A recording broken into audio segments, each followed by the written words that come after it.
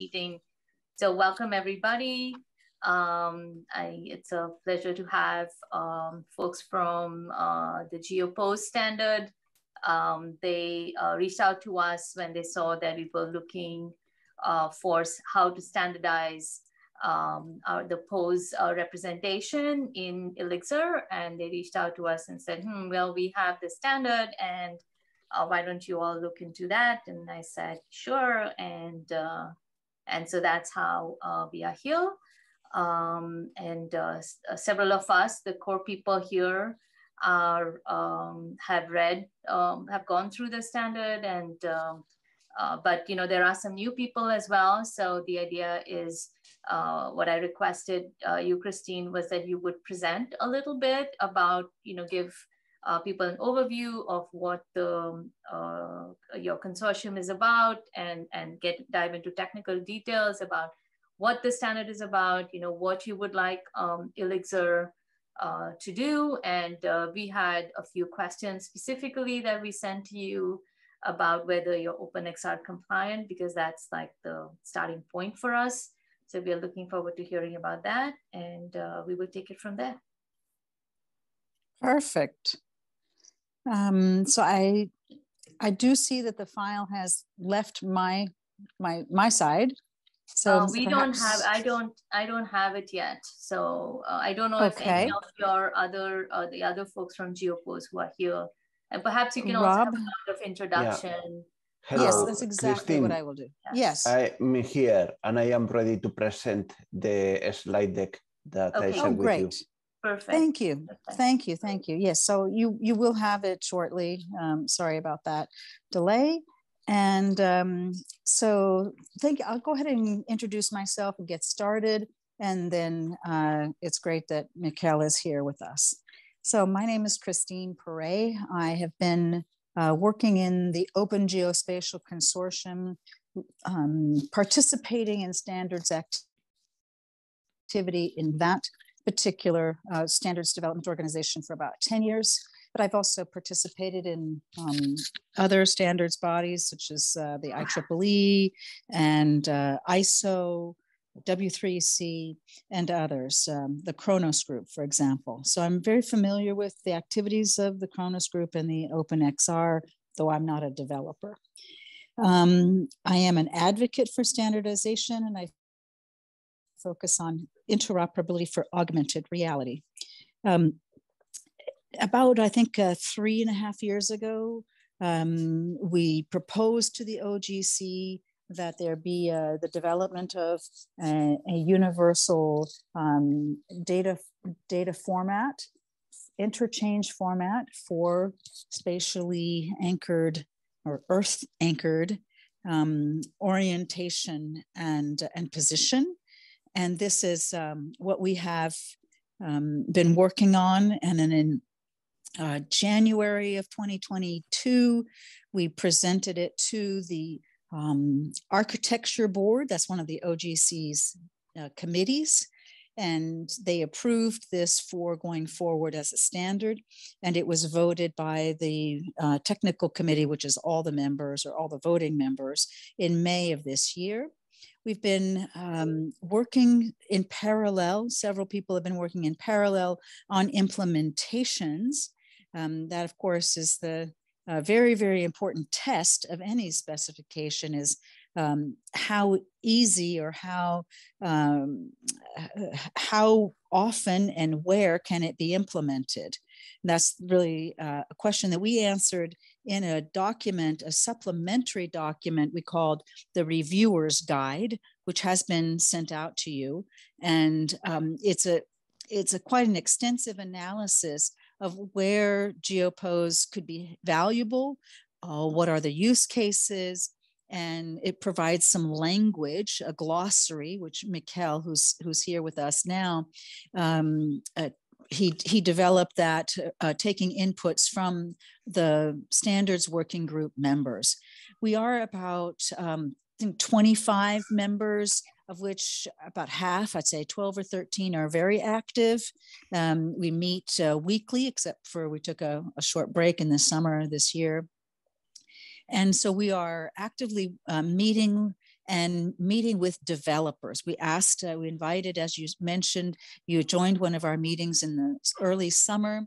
Um, we are having meetings with Hexagon, which is a very large geospatial company. Um, we've also been reviewed by um, the engineering teams at the um, at ESRI, which is another uh, geospatial industry leader. And um, now Magic Leap is joining our meetings to talk about their implementations. And there are several other um, hardware and software companies that are actively uh, working on it. Although we don't have uh, commercial implementations today. One of those who's um, been working on an implementation is Mikkel, who's going to be presenting, as well as Rob Smith, who's also in this call. So they'll be able to answer some questions. In advance of this meeting, we asked ourselves, um, why would you include uh, GeoPose as a part of your, your platform. We also had done, as I mentioned in an email to you, Sarita, an analysis of what OpenXR, uh, how it expresses pose. It, does so um, it, to only a limited extent. It does not in, express pose in the same with the same number of um, attributes as GeoPose. And the other, the other thing that's different is that OpenXR requires a timestamp. We have support for that, but it's not a specific implementation. Um, so I think we'll, we'll uh, leave it at that for now and see if there are any questions. Before we get started with the presentation, or is there anything I have um, neglected to, to include?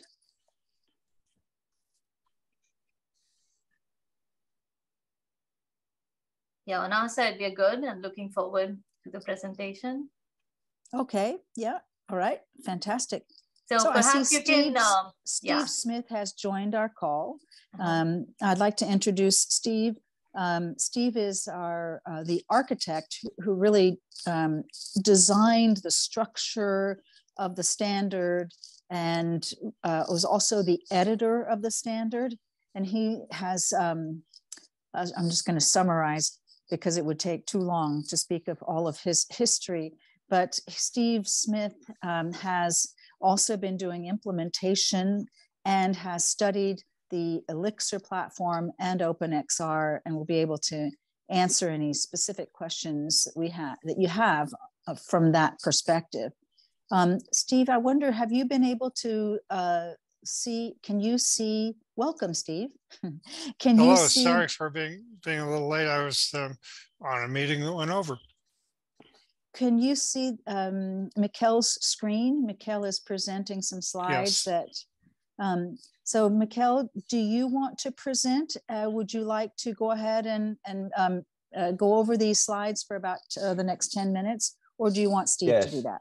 Uh, it's no problem for me to express it. It's just that Steve might offer a more um, graphical, I mean, a geospatial uh, vision from this because I am a computer graphic uh, expert, let's say, uh, and there is like this um, vision that we are trying to agree on of how to represent information. But otherwise, we are working on the same issue. And yes. I will say that uh, if I can move, yeah.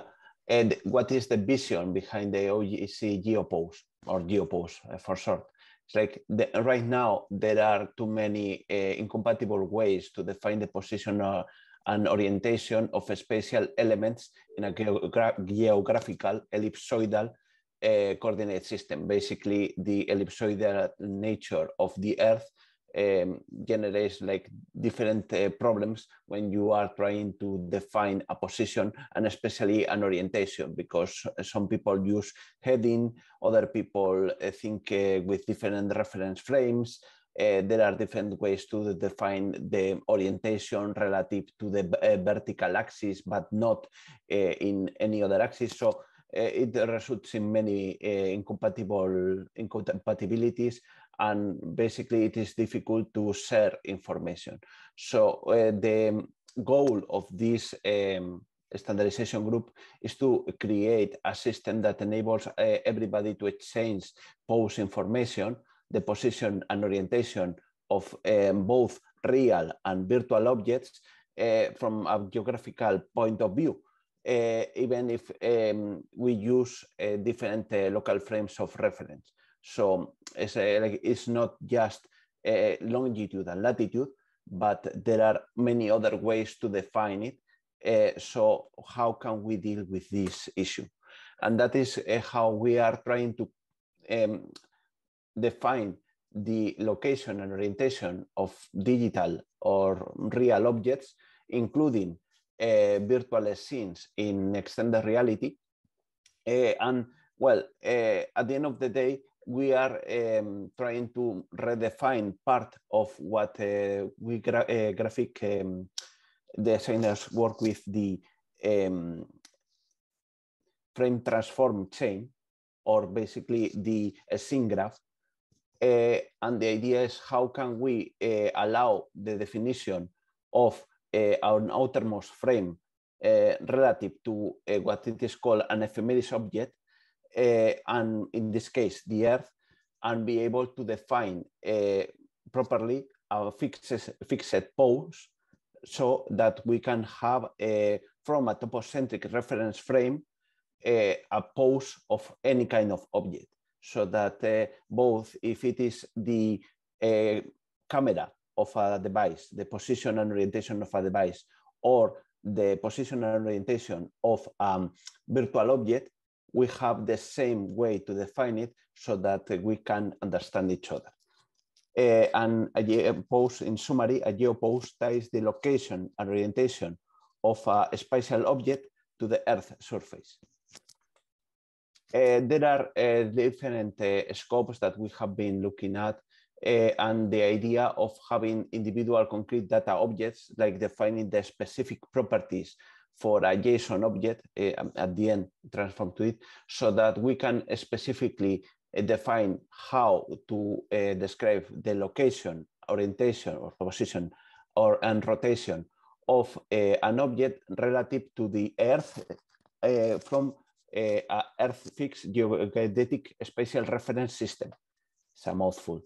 Uh, but uh, also we have been dealing with other problems associated to the needs of other people. It's not just a, a computer graphic artist or um, geospatial um, engineers, but there are many other um, applications that require geopose so that, that that's why we have developed composite structures so that we can translate other elements uh, and recreate part of what we call the scene graph, the transform chain, so that uh, we can create like um, orientations that take into consideration the curvature of the Earth or uh, any other geodetic calculations.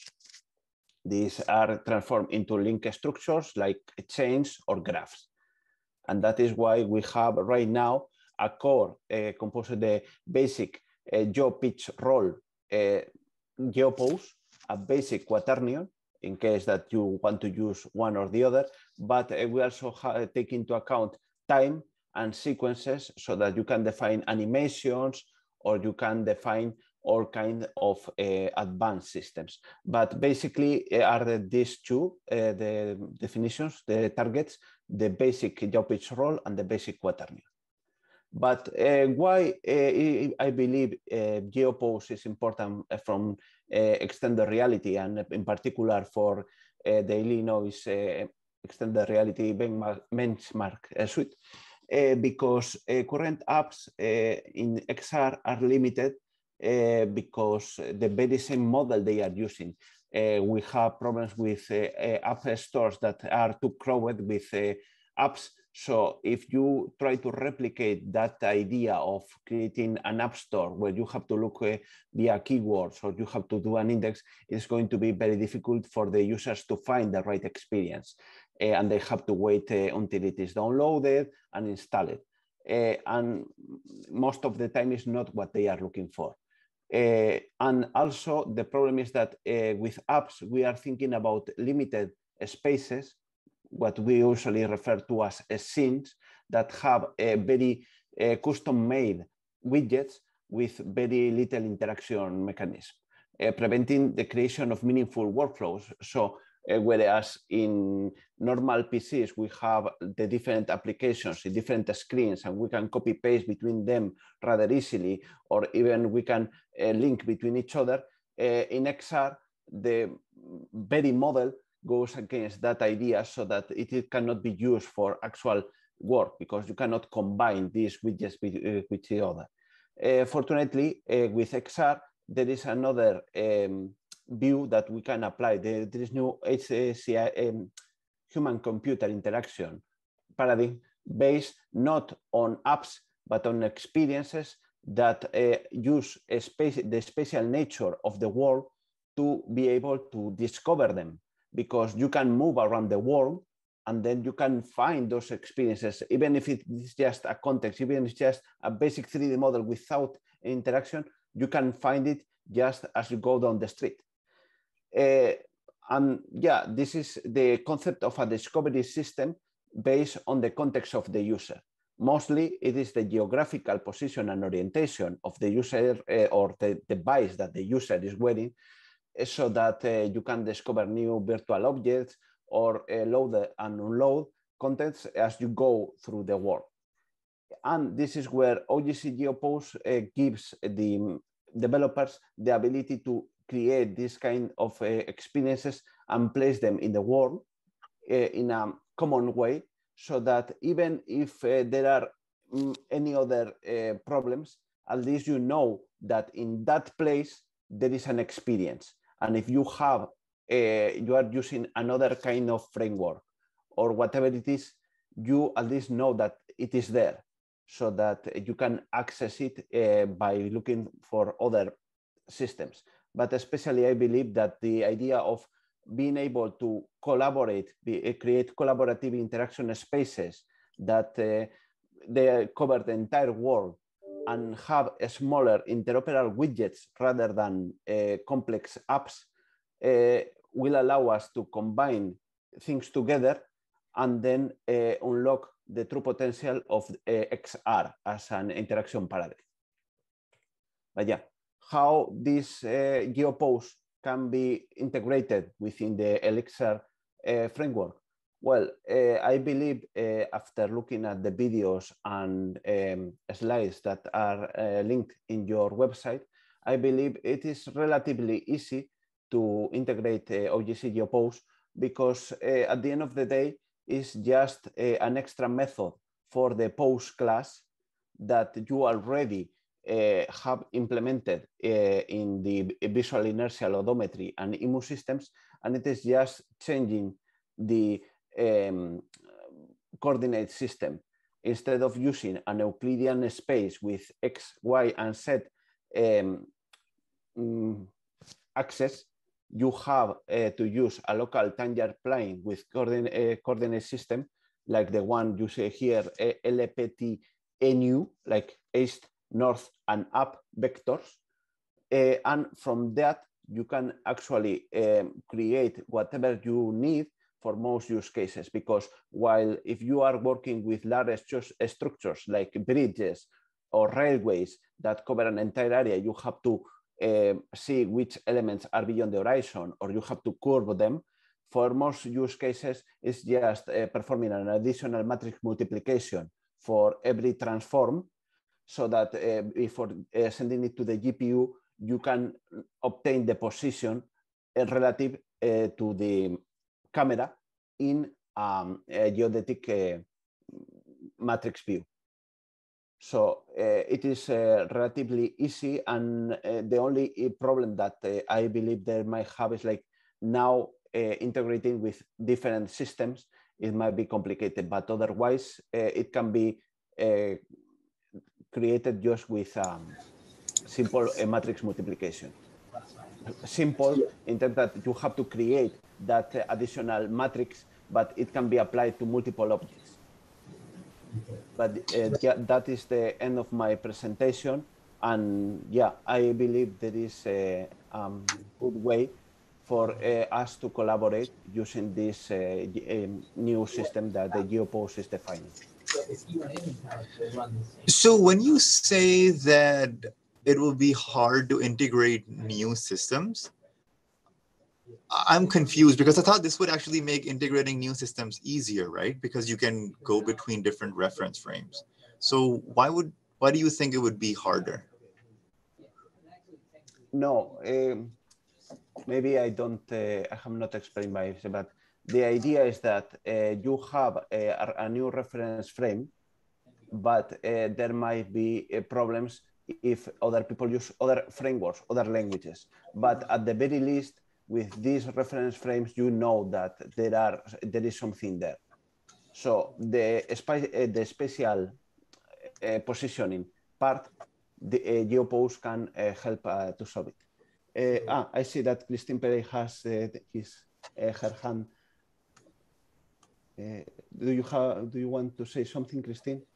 Um, actually, I, I'm, I'm unable to lower my hand, but I do want to see if uh, I do appreciate your asking for clarification, Huzaifa, and um, I wondered if Steve wanted to add anything from his perspective that um, that you've studied the OpenXR system already. If you wanted to add any details, Steve. I think that the main uh, additional piece of information that comes along with GeoPose is the link to the geodetic reference systems. In other words, systems of describing location on the surface of the earth uh, that are uh, between which you can convert. Uh, if you look in detail, you have um, the crustal plates on the surface of the earth are moving a few centimeters a year, and there are coordinate systems and coordinate reference systems uh, that actually track the change in latitude and longitude and height of things that aren't moving as far as normal humans are concerned, but but really are. And one of the characteristics of spatial information, at least in uh, 2022, is that uh, huge amounts are uh, in different coordinate reference systems. And if they're going to be integrated or even uh, discovered, uh, that they need to be brought into a common reference frame. So one, one of the big ideas of GeoPose is that the information necessary to bring um, spatial information into your reference frame for example, a local tangent plane coordinate system, which is in a way the naive reference frame for humans just wandering around on the Earth's surface. Um, the, the data to do the transformation um, is, is present. So this um, aid to discovery and integration is the, the main value add uh, from a big picture point of view for GeoPose. Yeah, I wanted to add that from my study of what I've read and looked at on the ILLIXR platform, it seems that it's very focused on the computation and the delivery, the um, presentation of graphical information in XR um, without, at this time, maybe because it's just hasn't been on your roadmap yet, any uh, or without consideration of the user's physical environment that might trigger those experiences. So um, the the fact that um, planar objects like QR codes or, or a drawing or something in the world could trigger an experience is all well and good, but um, having information about the user's context in space on the planet is much richer way of producing experiences. And I believe that's what uh, Mikkel was pointing out. Yeah, uh, but also finding those uh, experiences. because I want to be able to create those experiences to uh, be able to make XR platforms independent from PCs. But uh, the main focus is that uh, when I have my glasses, I want to be able to go el elsewhere and go to a restaurant and I will automatically have access to the menu of that restaurant, even if I am not even able to read which uh, the, the name of the restaurant because it's in another uh, language. So uh, in this way, uh, we solve the biggest issue uh, regarding interaction. Uh, and at the same time, we enable communication through this spatial dimension. So you can leave messages, annotations everywhere you can um, find uh, information about uh, particular elements. So there is a, a lot of uh, interesting uh, interactions just in, in terms of what you can do with a space. And when, when, when, when I when I mentioned integration, uh, it's even integration with things like um, shadows. So in order to get the right shadows for now and the place you are, you need to be able to reference um, the location of the sun or the moon. I see. So if there is some implementation that conforms to the GeoPose standard, um, then what that means is that there that implementation provides a function uh, which can transform the local frame of reference to this ephemeris object, which in GeoPose's case is the Earth. Yeah, by default. Uh, okay. I, I wish that it, we can use it in other planets, but just yet it is a little bit difficult. Right. okay. So if you have several different then GeoPose implementations and they all provide this function, then I'm assuming it's transitive. So you could go from your local frame to the ephemeris and then from the ephemeris to somebody else's local frame. Yes, that's the idea. So that uh, we can all agree, uh, even if we use different uh, local frames, then we can, like uh, you have an scene in one place of the world and another scene in another part of the world, and we can both agree on the position of a, a satellite between both scenes. So gotcha. in that sense, it's like uh, you can create connections between different uh, um, spaces, the different interaction spaces, even if those you are working in a Euclidean space because it's faster and easier, you can agree of where a satellite between the two of them is. Right. So yeah, so that you can understand some examples that we are using this for uh, in my company. We have like different uh, construction sites and we have like uh, trucks that are delivering objects. And since it, they are um, very far apart, the um, curvature of the earth makes it impossible to actually see where the truck is. But with this, we can at, at least create a virtual arrow that points beyond the horizon to indicate where the track is with uh, augmented reality.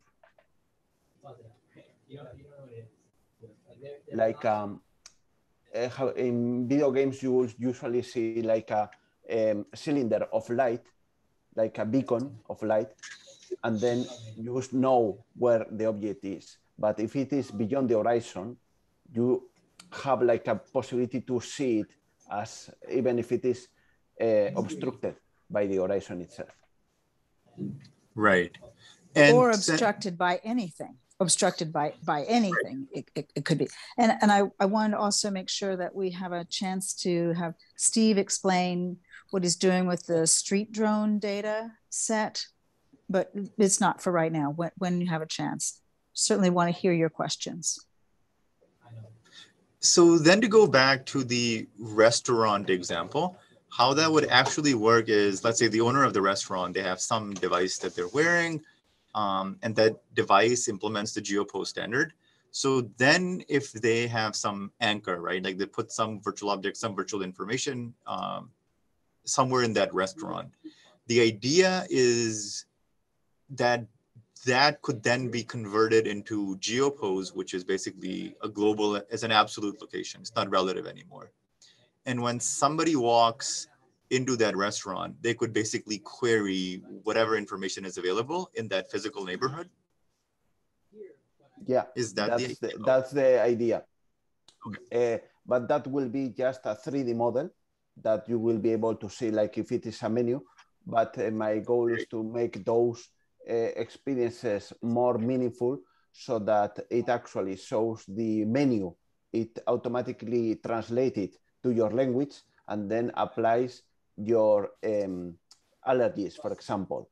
So uh, when we are uh, talking about discovery, is being able to create a match between the uh, context of the user and the context of the object that uh, of the things that you can see. But uh, in this case, with GeoPose, it's just the spatial nature. So you will see that the discovery goes beyond a spatial context. But the standard itself is just about the spatial.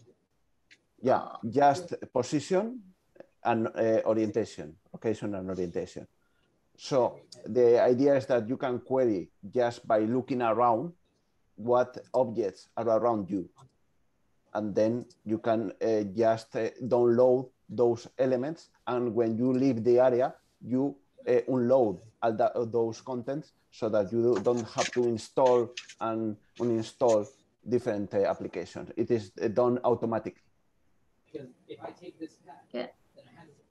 Uh, one one way to think of this is that the spatial context for each of the the shops or things that you might interact with, each of these contexts is abstracted to a geopose. And so when you're doing searching to do discovery, you're searching through the geoposes rather than through geometry. Right. Yeah. Yeah, but uh, you can you don't have to associate geopose just with discovery, even if I believe it is the most interesting application of it. Because mm-hmm. if you want to represent the path of a um, plane, or you want to track the orbit of a satellite, you can still use GeoPose for that. Right. So I'm still not, well, I should see if, uh, Boyan, uh, you looked at this a fair bit. Do you have questions?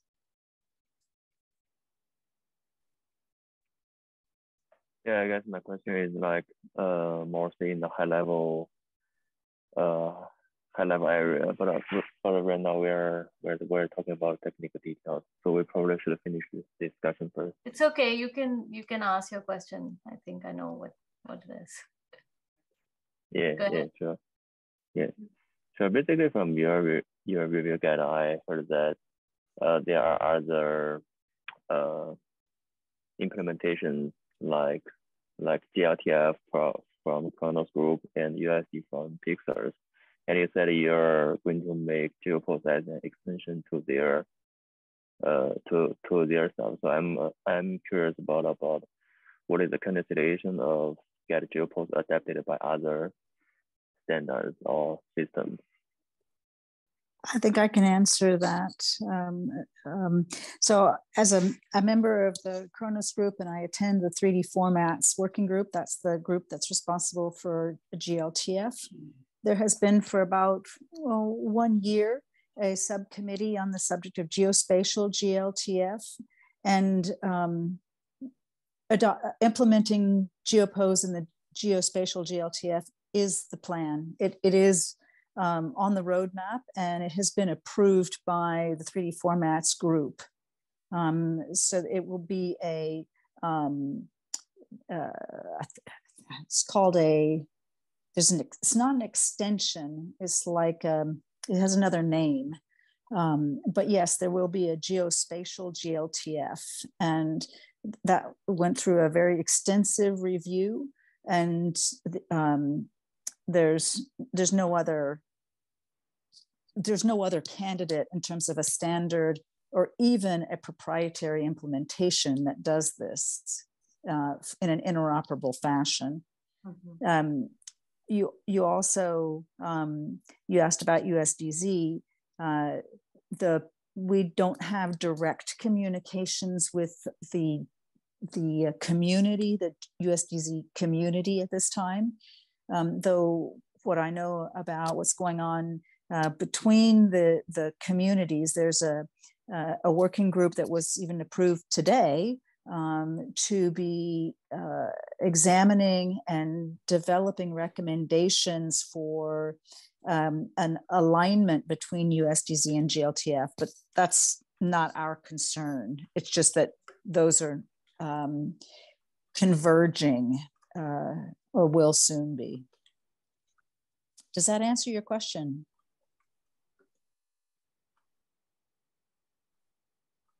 Yeah, yeah, yeah. Thanks.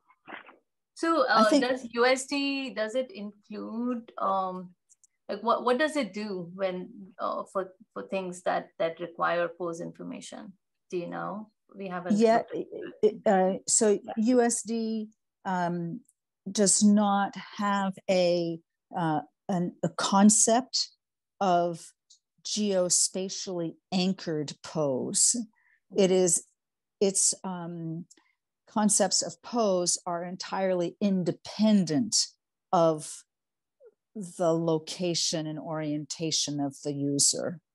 It's really about generating the 3D graphics um, in an accelerated fashion that can then be manipulated uh, in real time. So it's about that asymmetric compression uh, method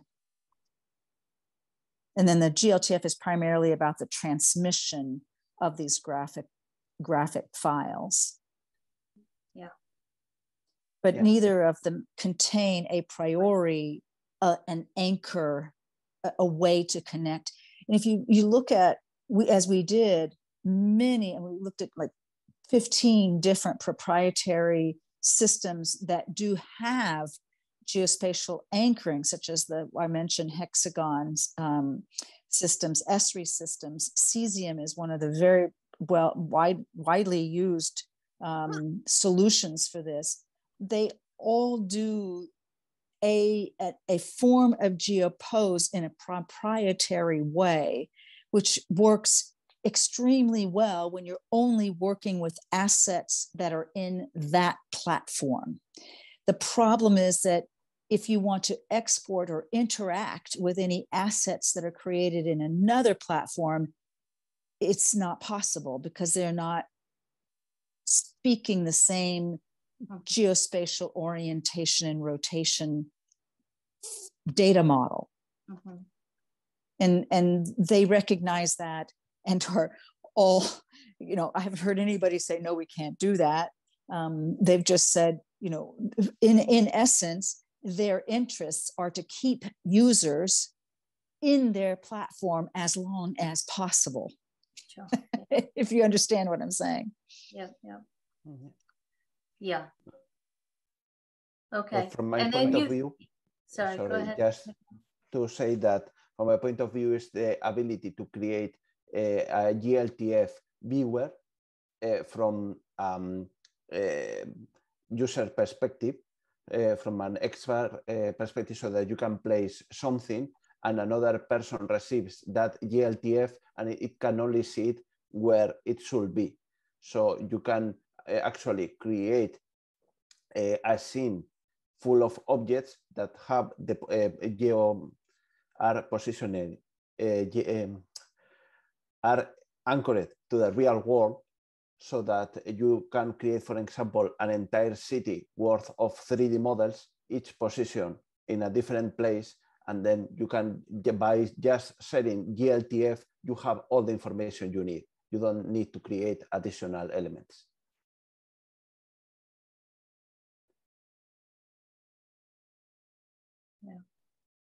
And it's, uh, it's that time maybe you get the cast if something's true or not. So I asked. Facebook? So, so you want to say yeah. something?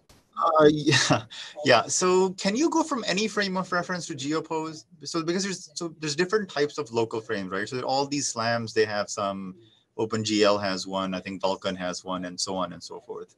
So mathematically, is, is you can go from any frame to GeoPose. Is that true? Yeah, that's the goal of the group, I believe, to be able to do it. And we have different people that have different types of um, ways to represent the same data from robotics, uh, geospatial engineers, uh, graphic designers. Everybody works with similar information, with similar rotation systems. But at the end of the day, uh, we have to agree on a basic system and convert every other to that one and provide ways to do so for everybody so that everybody can communicate and understand each other. Gotcha. So ignoring the issues with floating point precision for a second, does that mean then that the local frame of reference implementation, uh, it could basically use anything to represent the position in the quaternion, like floating point or double or some unique representation. Um, it, it wouldn't matter as long as it's able to convert that to the GeoPose format. Yes, uh, the GeoPose format right now, uh, at least, is a JSON um, specification with uh, basically uh, numbers for latitude, longitude, and yeah, as you mentioned, the issues with the floating point precision.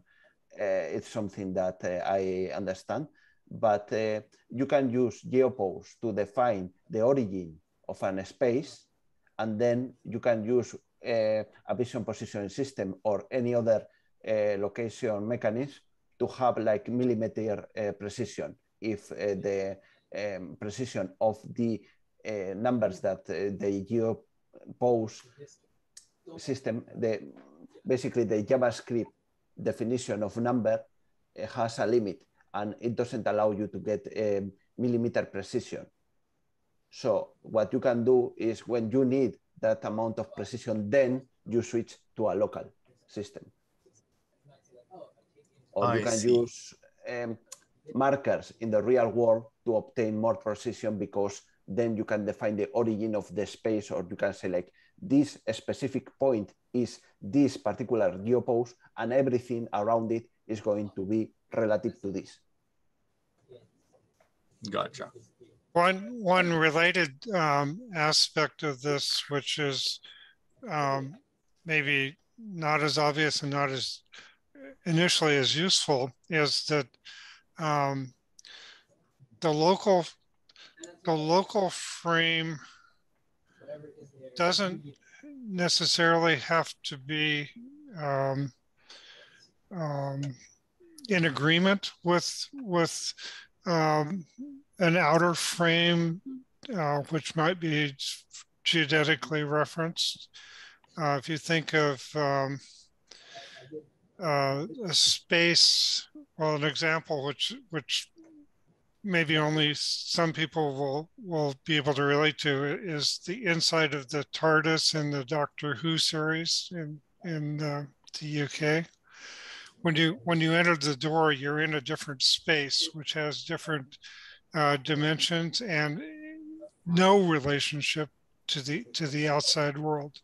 But right. the transformation as you go through the portal um, is something that you can express with the geopose. So you can actually uh, model relationships between reference frames for which there is no consistent um, external integrated frame. Yeah. Right. And also uh, here in Norway, landslides are common. So uh, even GeoPose has a problem when the land moves because of an earthquake or any other case. What happens with all the geoposes if all of them are absolute? So there are uh, problems like that that you have to think about to realize that they exist. But uh, at least know that we are thinking about it so that you don't have to. Mm-hmm. Mm-hmm. I see. So, so then, if my understanding is correct, the local frame then could be anything. So, so an example of a common local frame now would be the OpenXR specification, right? It has some spec for you know which direction is X and Y and Z and so on and so forth. Um, so they, they don't actually have so as long as you're within a system, basically, you don't particularly have to worry about geopose. It's quote unquote when you leave the system, right? When you have to interact with other objects or other systems is when this common standard kicks in. That's a precise point, and what you need is the transformation. You you have to know the transformation. If you know the transformation, then it can be uh, modeled by the geo, geopose uh, structures. But but that's the key thing. It's really um, in detail.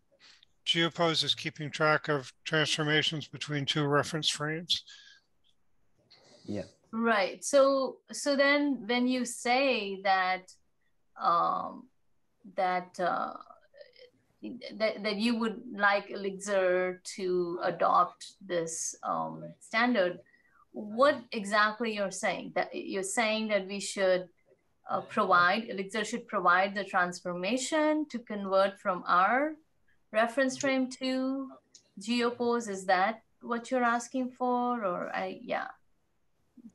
Well, we can provide you with the uh, code. Uh, I am working on the sandbox so that we can provide you with code so that you can add that functionality to uh-huh. ILLIXR and uh-huh. unlock what I call the true potential of uh, XR, that it is, uh-huh. okay, you are not working on a local space anymore. You are walking around the world. So how do you implement that? For, uh-huh. for it, you need something like GeoPose. And that mm-hmm. is where here we already solve a lot of issues for you. Mm-hmm. Right. Yeah, yeah, that makes sense. Yeah, but I guess more concrete, just to ask Sarita's question at like at an even lower level. So in terms of code, um, if ILLIXR is wants to be GeoPose compliant, what would it take in code? Like, what would that mean? Uh, as I said, do you have a pose class or a yeah. transform class then the idea is that you have additional fields, additional methods to, apart from the um, local position, you mm-hmm. have the global position. In, in, well, global might not be the right word, but you understand the uh, geo position and the geo, outer frame of reference, the ephemeris yeah. object position. Or, exactly. Yeah. yeah. So what you have is like, okay, I have this geo pose. I insert it into this method and I obtain a rotation matrix, like four by four. And then when you apply that uh, transformation to your model view and your, uh, how do you call the camera perspective, you apply that additional um, uh, matrix whenever you need it. And then that's all that you have to do. Hmm. It's just apply that additional. And the, the other way around. If you have a position in the world, in your uh, world, uh, that is uh, locally referenced, you get the um, transformation matrix through the method and you obtain the geopose for that point. Gotcha. I, I believe there are more parameters and it is relative to another point or so th there are a lot of ideas that we have in terms of orientation, or in my case, I want to be able to look from one geopose to another geopose. How do we do that? How do we make that reference? But that's something that we are still discussing. Wait, I'm sorry, I didn't quite follow. What What do you mean if you want to look from one geopose to another geopose? What? The idea that uh, if uh, I, with a geopose in the um, XR device, want to be able to know if I am looking to a particular object, how do I calculate that? Because it is possible to do it in the local space, but in the geospace, it's difficult to do. So that uh, it is not just positioning objects, but positioning cameras and rotating them to follow other objects. Sorry, I didn't. I didn't Imagine I... that you have a drone that has to follow uh, an object yeah. in the ground. So yeah. how do you do that? Then uh, my idea is to, in the future, implement a system that allows you to have a geopose that is able to define not just the position of the drone, but the rotation of the drone because it is looking at the track that it is moving. that is something that uh, right now we have not implemented. You just have the rotation either in yaw pitch roll or with quaternion. But uh, one of the things that uh, you might find that you need sooner rather than later is that, okay, I have my geopose for my device that I am wearing in my head, and I have a geopose of an object next to me. How do I know that, that I am looking at it? Or like being able to create a target for a camera. I, I believe Huzaifa might be able to know why it is useful for uh, graphic programmers. Right, but my question is that if these are absolute coordinates, um, and if they're you know close enough, why can't you just use like regular geometry to figure this out? Well, uh, you can, but uh, then there are issues when uh, you have to track uh, satellites or when you are doing something that it is beyond the scope of uh, um, local space. Right, I see. So think about to, uh, tracking that. Yeah, I wanted like to add another possibility, like for example, where the project that Steve and uh, and Rob are involved in looking at um, so you have a data set let's just say it's a train or it's a car maybe it's an autonomous vehicle that itself knows its geopose over time. So it's changing. So it that object is a moving object and it has these geoposes right? It's leaving this trail of geoposes think of it that way. But in if an implementation of an XR device is using the ILLIXR platform and it's geopose compliant, then it can quote unquote see, it translates the relationship that it has with respect to that autonomous vehicle or that drone or that train or, or, or the, that other moving object. So there's this continuous um, uh, knowledge about the exact relative positions. I, I see that Rob has uh, raised his hand. He's working on this exact same thing. So I'm sure he can explain it better than me. Go ahead, Rob. Uh, thanks, Christine. Um, I can, but um, my my comment was actually directed at an earlier question, which is what code is required to support yeah. GeoPose? Yeah, and, and I have to, a very yeah. simple answer to that, which is an import and export function to whatever the native um, representation is within the system. Right. Um, so something that reads geoposes and something that writes geoposes, or mm-hmm. possibly only one of those that you're able to accept them or you're able to produce them. Mm-hmm. Um, and I think that is the key to providing geopose support.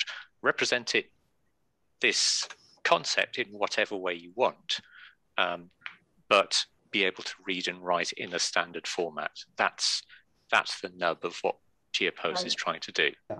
Right. I will implement such functions inside the pose class so that it already has access, right. the access to that the pose. But yeah, the idea is the same. Yeah.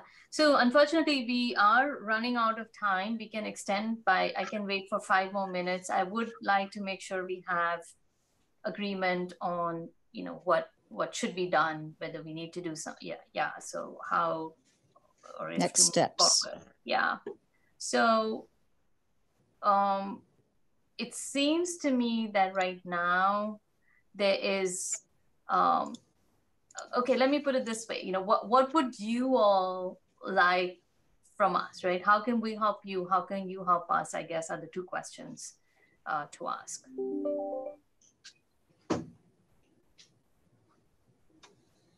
Maybe so Christine. you yeah. Yes, yes. Yeah. I, I, think um, thank you. Yeah, I think the the key question is for the person or people who are working on the pose class in ILLIXR to work with Mikkel and Steve and, and other people in our group to write that import export function.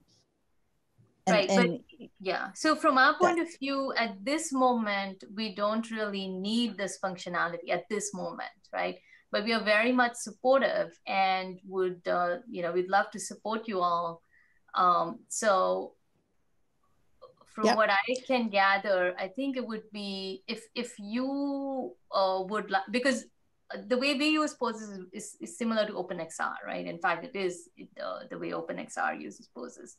Um, so if you could help uh, uh, provide an ILLIXR is open source, right? Anybody can do anything, right? Open an issue, um, uh, push a PR, etc., and we can uh, uh, deal with it. So if you would like to do that, I mean, we can definitely support um, GeoPose um, uh, compliance in our the export and import functions in ILLIXR. So it sounds yeah, so it sounds like the best way to do this is through GitHub. And mm-hmm. um, I uh, I'm on I'm on that uh, that repo. I, I watch it, but I don't know that the other people who are involved in GeoPose are also are in that repo. It's sometimes it's quiet, sometimes it's very busy. So, um, but uh, sounds like that's the right way to go to to um, to proceed is to create the issue and then um, develop a, um, a, a contribution and and put it in there for um, for a pull request. And we could create create a uh, GeoPose support issue and and basically a, a proposal I think from us, um, if, and then from the ILLIXR knowledgeable side, uh, you could explain how our proposal is good or bad or stupid or uh, close but not quite there and go from there. That seems like a good way to interact. Yep, I agree.